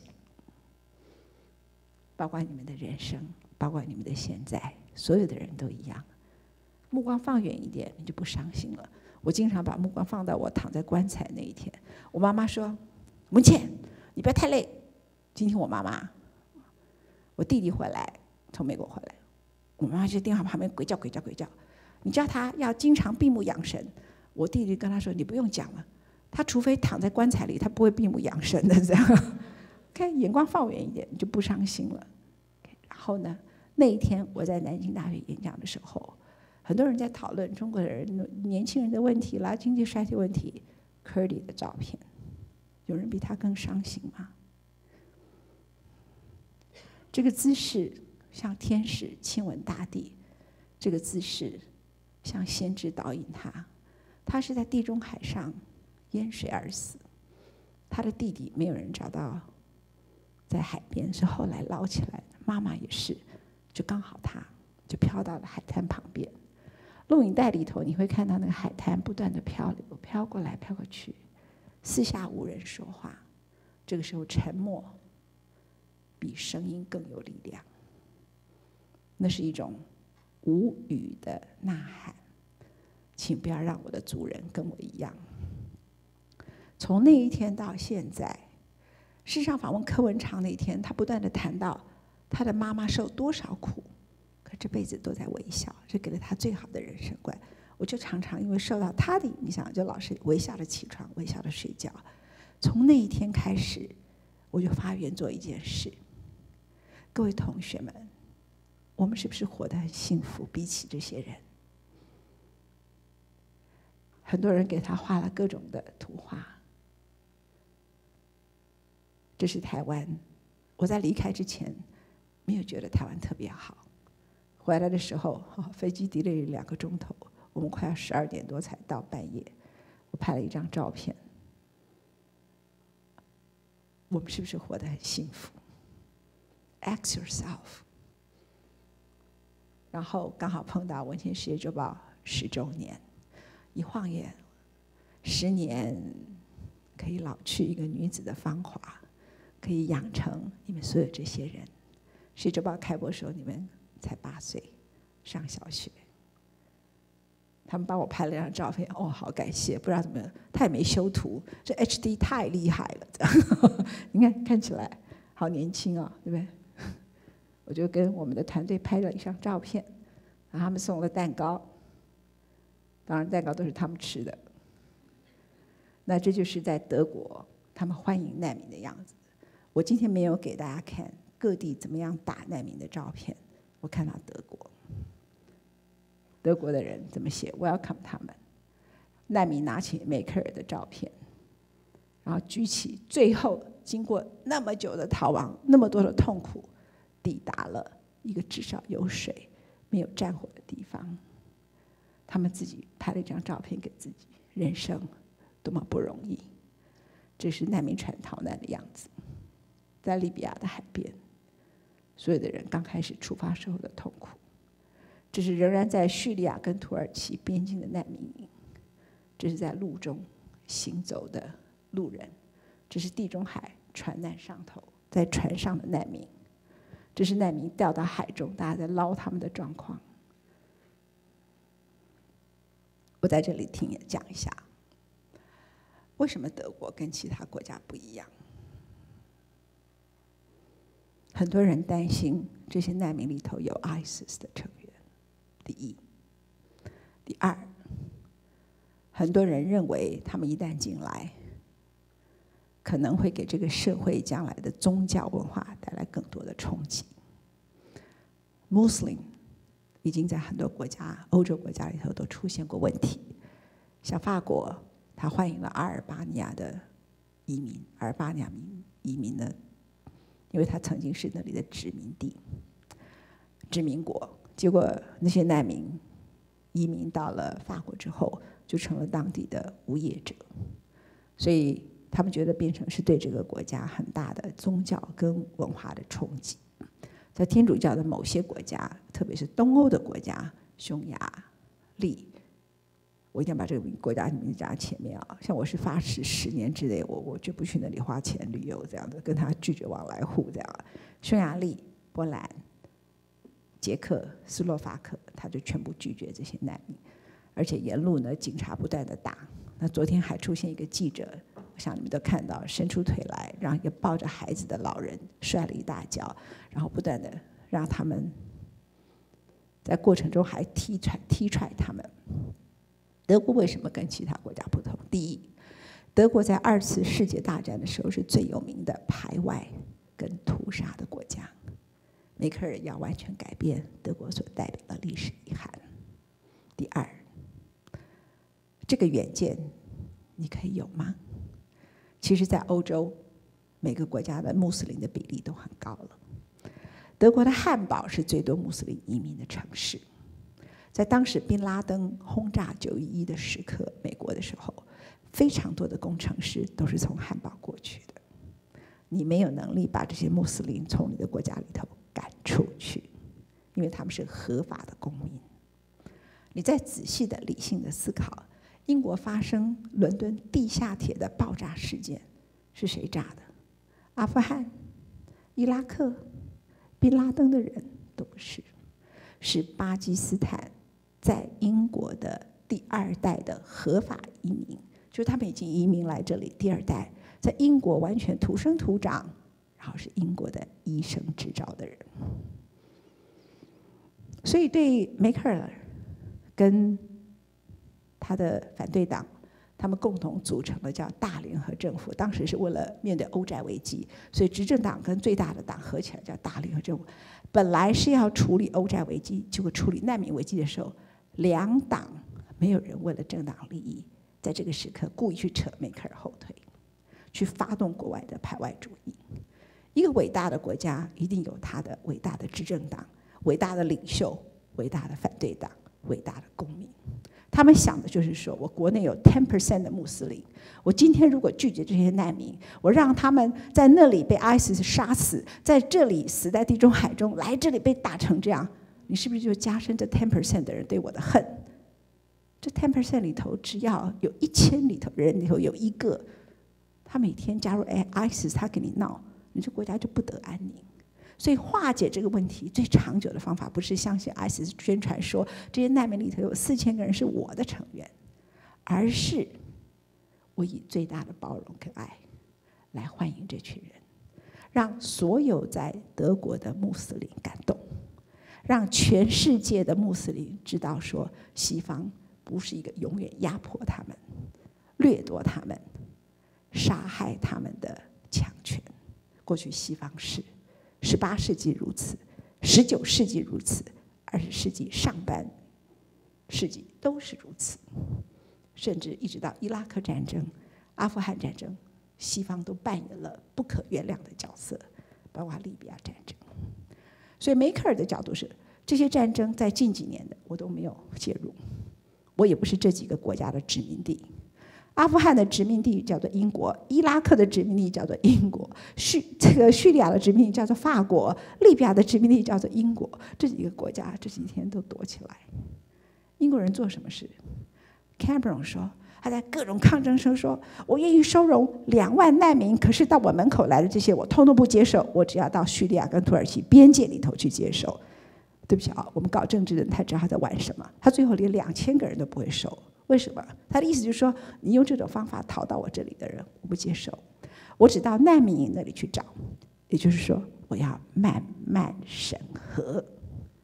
我要看看你的背景是什么，我要搞清楚你是不是 ISIS 的成员呢？事实上，在阿富汗战争跟伊拉克战争，美国跟英国都参加，他们骗了当地很多人。你只要愿意加入我的部队，担任我的传路员，或者做我的向导。你们只要连续一年就可以取得英国跟美国的居留权，取得难民庇护。这是美国正式、英国正式给当地人的承诺，当地人相信了，而且美国的国会没有阻挡，两党立刻一致通过。英国国会没有阻挡，立刻通过。结果呢？美国到现在为止通过的人不到一千个人。比他们遣返的墨西哥的非法移民人数还要少，英国也不认账，他们说连帮那个首相 Cameron 做做翻译的那个人，最后都被英国政府拒绝。美国怎么整人家？你申请先经过大使馆，大使馆再经过国务院，国务院经过国土安全部，就给你拖拖拖拖很久。而他们在当地的现况是什么？他们在当地的现况是塔利班来追杀你，因为你是。美国的间谍，你替英国人做事，对不对？所以他根本活不下去了。所以在二零零在二零一一年跟二零一四年，他分别从伊拉克跟阿富汗撤军之后，所有曾经效忠英国跟美国军队的当地人都受到了追杀。追杀的结果，有的人逃了，以为只要逃他自己，就他们抓不到他，就连他哥哥妈妈都全杀了。所以他们就一直逃，一直逃，一直逃。所以在二零一四年，全世界第一名的难民叫做阿富汗，美国人、英国人就假装没看见。美国人现在希望世界上忘记有一个国家叫做美国，他们很感谢大西洋，使得这些难民怎么样也不可能坐橡皮艇偷渡到美国去。可是为什么梅克尔跟他们不一样？因为梅克尔有一个视野，他认为回教徒、穆斯林他们并不是坏人。他们说有这么强烈的仇恨主义，是从十字军东征。他认真的面对的是从十字军东征开始，一路长期西方基督教文明对他们的迫害。他觉得德国要面对这一点。我既然有这么多穆斯林人口，我表现最大的包容，这才是解决恐怖主义最根本的方法。这个叫做远见。这个叫做自由，这个叫做思想。所以，ISIS 说：“我有四千个人混到你们难民潮去了。”德国不为所动。德国在这一刻成为全世界所有的人几乎共同同意最伟大的国家。好，那我从那一刻开始就一直专注这个新闻。大概从今年的三月，Euronews 呢已经全部通通都是难民潮的新闻。到前天我在看 CNN 关于这个新闻，一小时里头只有两分钟。然后《世界周报》是从今年二月、三月、四月、五月、六月一直做做做到一整个小时，做到我们的收视率太高了，所以台湾的电视台就开始跟进难民潮这样。那我很高兴，因为我希望引起是大家的注意。那我为什么要特别放下来，在这里停下来跟各位说？它是我觉得人生是有意义的，我仍有价值。虽然我已经快六十岁，我就立刻发愿。本来呢。人们邀请我十月十五号到罗马去，给非常好的条件啊，住酒庄啊，住 castle 什么。我说我刚刚从 MIT 哈佛马上要去采访，我要去哈 MIT 采访，又采访哈佛。我刚回来台湾太累，我没办法去，所以我就 cancel 这个 trip。但是我一看到这个新闻，我就说我十月二十号出发，我要去比利时的红十字会，然后从那个地方开始跟着他们的难民所有的救助工作一起走，一起采访。敌人说会不会累？我说不会。他给你力量，这些人的痛苦，这些人的所有的苦难，他给了你力量，让你知道说，当你付出的时候，当你有理想的时候，你是一个有力量的人。我人老了，但是我的使命感没有老，他是不是感觉我仍然年轻。所以我就在《世界之报》上面贴出来一个 Facebook 上头贴出来说，如果我可以在欧洲找到一个可靠的机构，是可以认养这些小孩。难民的儿童以及直接捐款的对象的话，你们有多少人愿意参加？结果那个地，结果到今天为止，有将近三十多万人点阅，有几几万个人按赞，很多人都写愿意愿意。我希望我们亚洲大学的学生们，你们未来如果有能力的参与这个计划，在金钱部分，即使你没有足够的金钱的能力，你画画图给他们也可以。你做任何事情给他们都可以，鼓励他们，让全世界的人都知道你不承认我们台湾，但是我要让你们知道，世界有一个温暖的地方在亚洲，它的名字叫做台湾。你们愿意吗？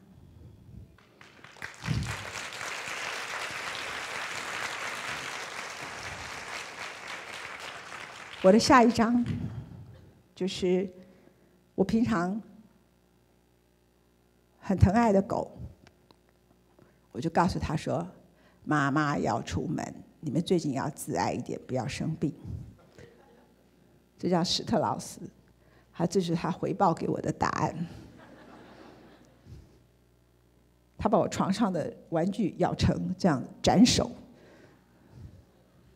后来我想也好，因为我们家都是五只小狗，他斩首的是玩具，不是我们家的小狗。感谢他。然后馒头伸了一个懒腰，跟我说：“妈妈启程吧，我们很骄傲，你是我们的母亲。”最后，好好，谁来赶快帮我？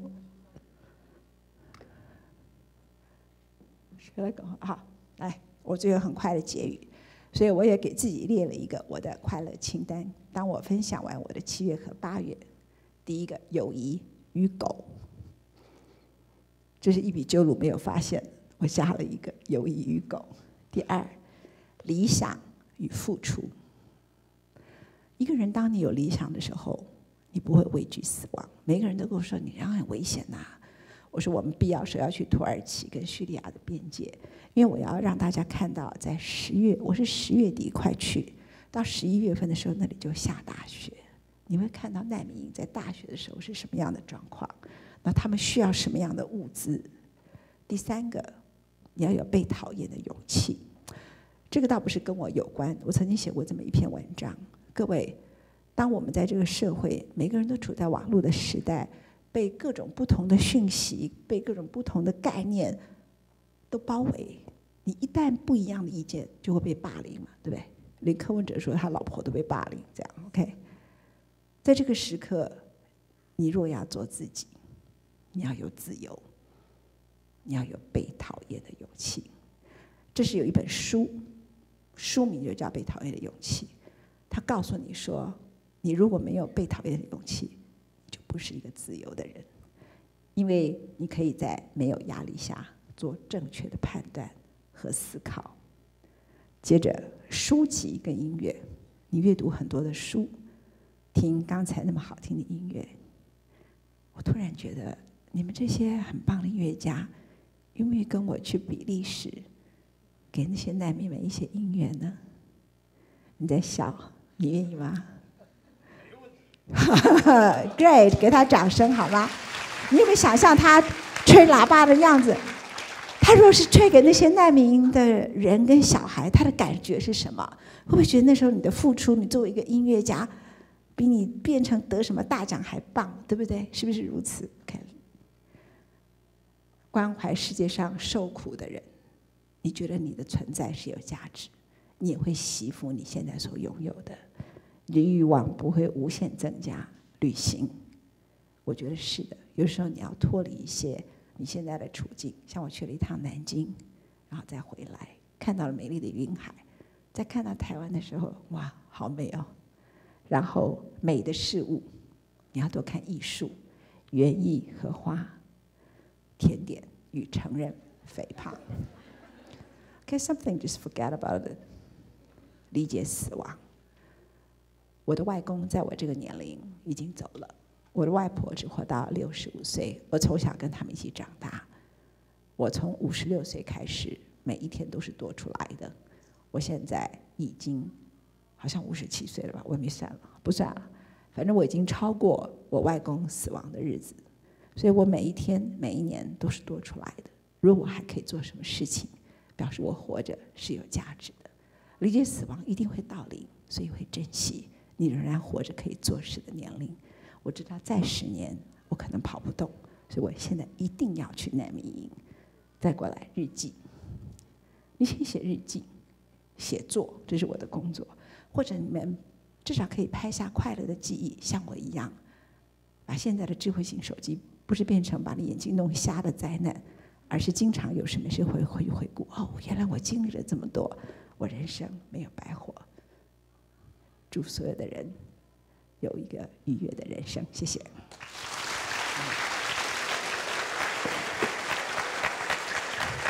好，感谢大家。虽然我们时间已经到了，但是我们还是啊不忍心来做结束哈。我们还有一个节目是 Q and A 哈。当然我们在延后五分钟，我们现在先请这个呃这个陈文健教授就坐，啊我们校长也请上台，好不好？好。那刚刚我们主任 pass 给我说，只能问一个问题。我想校外贵宾也很多了哈。校外贵宾问一个问题，在校生问一个问题，好不好？好，我们节为了节省时间起见哦，听说校外贵宾有一个我们文倩小妹大的粉丝啊，他说他要问一个问题啊，洪世超先生，好不好？你先来问我一个问题，来，我们鼓掌一下，来。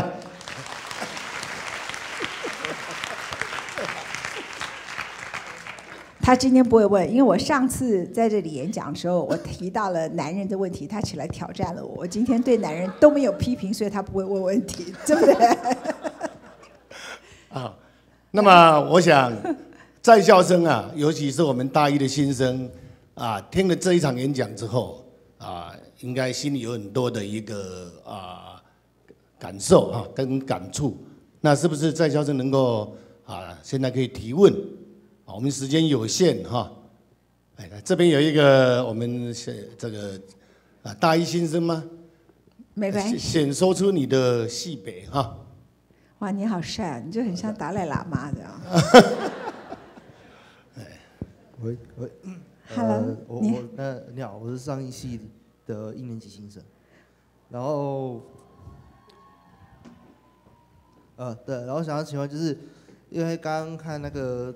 陈文倩小姐，那个对于园艺这一部分就是很有兴趣，然后我想要就是就是你在你家的摆设，不不是摆设，就是在你的家中，你除了除了你的庭院之外，有什么哪一个地方是让你最觉得可以感到放松或是开心的地方？就是除了庭院之外，还有什么地方是你觉得家中会让你感到放松以及愉快的地方？哦，当我在听音乐的时候，所以我每天早上起床的时刻，第一件事情就是打开音乐。第二个，我会到晚上回来的时候，因为我不想打扰已经在睡觉的人，所以我就会到顶楼去，然后就去看星星、看月亮，然后看远远的山，跟看很远远的海，然后躺在那里，因为我住郊外嘛，啊，然后呢，呃，那旁边也有花，我就会固定的浇那里的花，然后剪一些枝叶，然后在那个地方做一个简单的运动，然后对着星星讲话。然后有时候我就发现我搞错了，因为那是一个飞机这样子，OK？因为你星星有时候在看飞机很容易搞混，尤其我们的老花眼，那就看一亮就对他讲话，然后在想我要朗诵一首诗，就发现他在动啊，表错情了这样。所以 I think music so important，它可以 instantly 立即改变你，永远不要放弃音乐这个最美好的东西，花也一样。享受所有的日子，然后一定懂得付出，好不好？祝福你的青春，谢谢。好，我们啊，陈教授呢说再一个问题。对啊，你们可以问问题，你们做那么辛苦，好累哦。他好厉害啊，可以盘坐那么久。你打坐过吗？还有谁要问问题？都没有人要问问题吗？来，这边有一位，这边戴眼镜的同学。啊，这里，这里。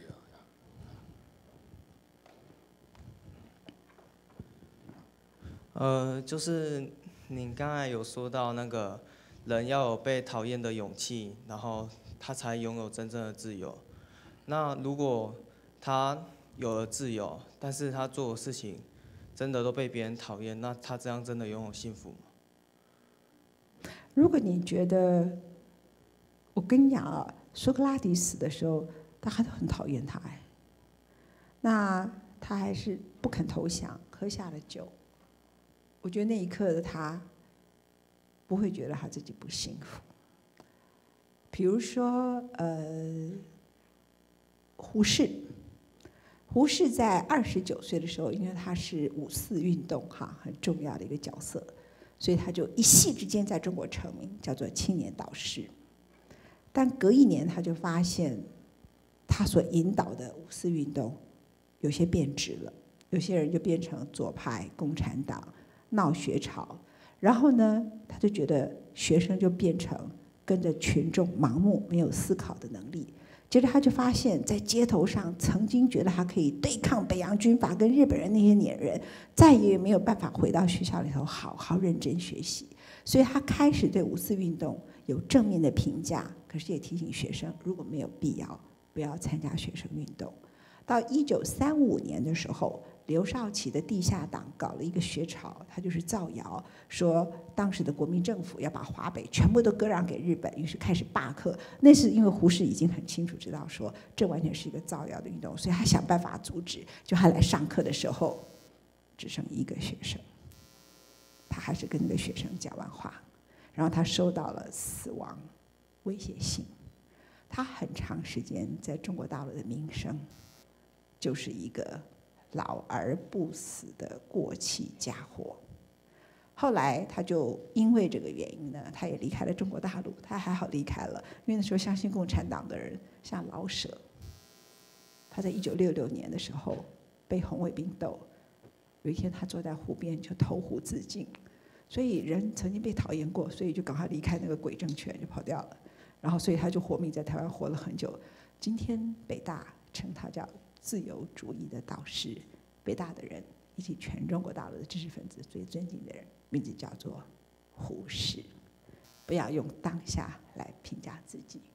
那另外呢，什么叫做幸福？一个人可以克服很多多数人的意见，我觉得他很幸福。像侯孝贤好了，你们今天都很崇拜他，十年前很多人都说他的电影根本不能看呐。然后他的票房也很不好啊，也没有得奖啊，然后他也没赚到什么钱呐。那有一段时间很风光的是李安，很多人都忘记了他。他在做什么？他就认为台湾的电影一定要有很好的电影节。他跟釜山导演、釜山的电影影展的主席很熟，就看到釜山从零开始一直做起来，快要变成亚洲的。坎城影展，他就很紧张，于是他就自己去当台北电影展的主席，再去当金马奖的主席，然后把所有的团队都建立以后，他才去拍《刺客聂隐娘》，整整八年就没有了。那某个程度来说，他也忍受了很长一段时间的寂寞。然后现在他的片子，因为他是我们台湾人嘛，他在大陆可没有像台湾那么受欢迎。大陆的人现在说，如果你想睡觉，最好的方式就是去看《刺客聂隐娘》，你会让你睡着这样子。所以他也被很多人骂，说他是个烂片子。然后呢，再加上台湾有一家报纸曾经在舒淇到底是什么国籍上，呃，写了一些文章，然后说这个事情又传到了大陆去，所以他们就说舒淇是台独，你懂我意思吗？好，所以就是那整个情况里头呢。非常多人就说，我觉得胡孝贤他可以活着也是一种态度。其实很多人呐，我们现在没有什么人叫做真正被讨厌的人了。你去牢里头去看那些人，你知道像那些难民们，他们到了那个希腊，希腊人说给我滚回去，他好不容易渡过那个地中海，有一个爸爸带着一个小孩子，他的孩子只有两个月婴儿啊。好不容易渡过地中海，他不像 Alan Kurdi 死掉了。他说：“我的小孩发烧，你们可不可以给我一个药给我睡？我的孩子发烧。”他得到的答案是：“你给我滚回去！我看到你们烦死了。”然后他的孩子渡过了地中海，过一天在他的怀里头就断气。所以我们会考虑，我们是不是受人喜欢，是不是受人讨厌，是因为我们的生命中还有很多很多的选择。好不好？哈，所以你一定是很幸福的，你才会讨论这个问题。把你的手机 download 所有叙利亚这些难民，do something，这样。我真的很想，我不知道，我现在的脑梦想越来越大，我希望可以组一个大团队，不只是我们去采访，说不定我们做 documentary，带音乐家去那里，然后去给他们东西。呃，就是我不知道，就是说我我总觉得说。我们不只是给对方，其实是给自己很多东西。当我们再回来我们这个社会里头，你不用担心后面有一个 ISIS 冲进来杀你啊！你幸不幸福？你幸不幸福？讨厌又没刀？我告诉你，人们会讨厌你啊！三分之一是嫉妒你，因为没有地位的人是没有人讨厌他的，对吧？三分之一的可能性是你与众不同而已，那你不想跟他一样。三分之一才可能是你真的做错事情了，所以人们不喜欢你这个人。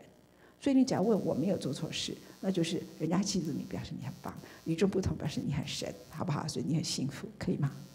好，谢谢。